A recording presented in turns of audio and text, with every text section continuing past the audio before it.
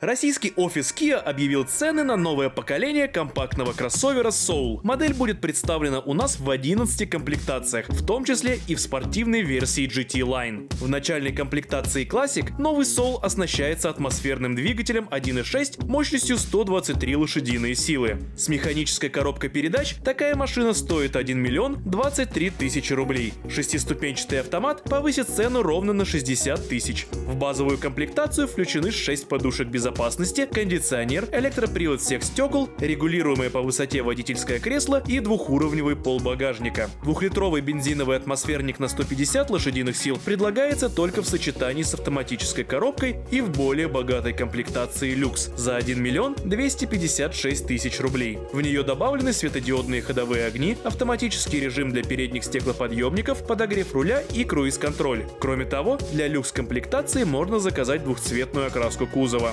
Следующий уровень – это версия Prestige. С мотором 1.6 это 1 миллион 360 тысяч рублей, а двухлитровый Prestige стоит миллион 400. В этой версии у Соула будет полностью диодная оптика, электрический подогрев лобового стекла и беспроводная зарядка для гаджетов. Топовая комплектация премиум за 1 миллион 580 тысяч положена только двухлитровым машинам. Здесь кожаные кресла и мультимедийная система с экраном на 10 с четвертью дюймов. Наконец, на спортивный Kia Soul GT Line ставят самый самый производительный двигатель 1.6 TGDI, имеющий турбонаддув и систему непосредственного впрыска топлива. Мотор развивает 200 лошадиных сил и агрегатируется семиступенчатой роботизированной коробкой передач DCT. Эта модификация стоит 1 миллион 630 тысяч рублей. Продажи нового Соула стартуют в России 1 июня.